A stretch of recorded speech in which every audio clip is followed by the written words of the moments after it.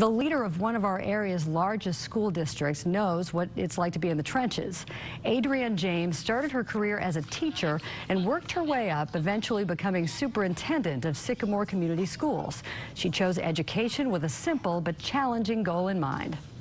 I wanted a career where I could really feel that I was making and seeing a, um, the difference that I was making for students.